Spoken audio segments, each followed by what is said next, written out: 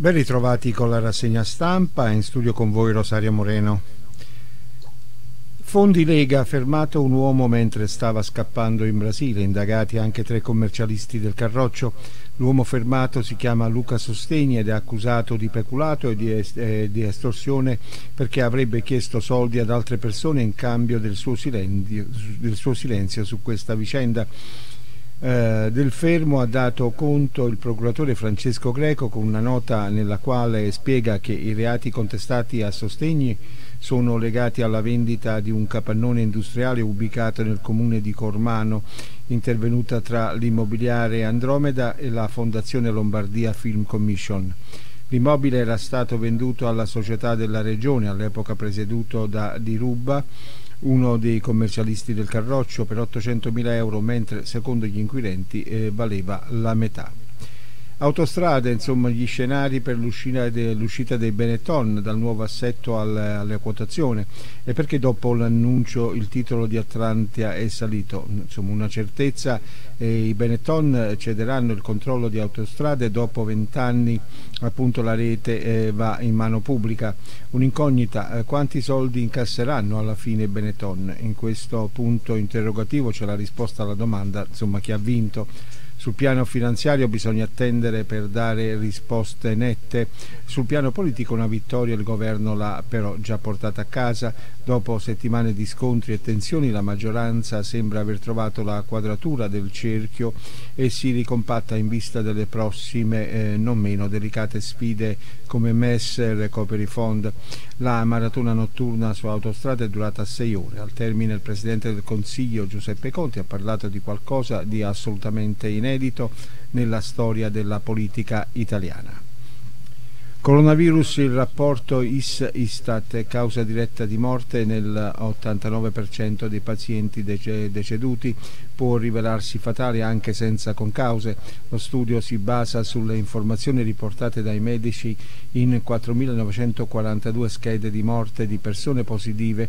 Solo per l'11% il decesso è stato dovuto ad altre malattie associate al virus. Le concause più frequenti sono invece le cardiopatie ipertensive nel 18% dei decessi, il, dia il diabete mellito nel 16%, le cardiopatie ischemiche nel 13% e i tumori nel 12%, ma rivela il rapporto non ci sono concause nel 28,2% dei decessi analizzati. Coronavirus, nuovo record di contagi in, US, in USA, oltre 67.000 in 24 ore. Francia scatta l'obbligo di mascherine nei locali pubblici. Brasile, Bolsonaro, Bolsonaro positivo al secondo test. Contagi ai massimi anche in Israele, dove Netanyahu è pronto a imporre nuove restrizioni per affrontare la uh, seconda ondata nel paese, in India, in Argentina anche. In Sudafrica superati i 300.000 casi, in Russia i 750.000. Eh, violenza sessuale a Milano, donna aggredita mentre portava il cane al parco. Lo stupro è avvenuto in pieno pomeriggio al Monte Stella, nella zona nord-ovest del capoluogo, del capoluogo lombardo. Indagini della squadra mobile sono in corso. La vittima è stata trasportata in codice giallo alla clinica Mangiagalli del Policlinico. Notizie da Treviso e dal Veneto. Grandina scatta il moito in agriturismo, in inglese eh, si dice che la vita ti dà limoni, beh allora fatti una limonata e si ti dà ghiaccio come con la grandinata di sabato, ecco la base per un bel moito, lo ha fatto Alessio Rec dell'agriturismo Nonna Maria di Montebelluna. Monsignor Adriano Cevolotto, il nuovo vescovo di Piacenza, insomma oggi in cattedrale durante breve, un breve incontro di preghiera è stato annunciata la nomina del nuovo vescovo di Piacenza Bobbio in contemporanea con la sala stampa vaticana.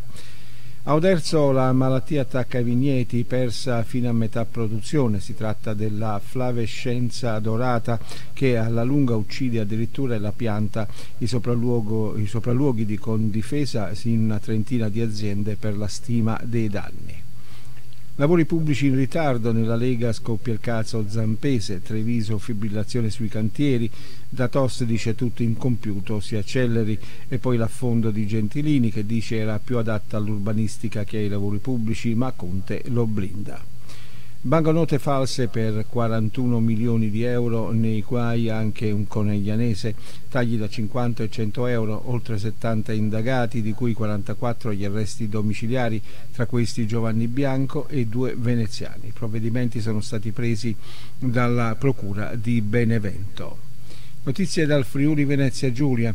Due morti sul lavoro in cinque giorni e l'arma sicurezza dopo la tragedia dell'interporto di Pordenone e oggi un nuovo decesso di un giovane operaio a San Daniele in quella che doveva essere una giornata importante per il futuro dell'azienda. Con la presentazione del nuovo piano industriale ci troviamo a dover commentare una notizia tragica che ci lascia scioccati e senza parole mettendo tutto il resto in secondo piano.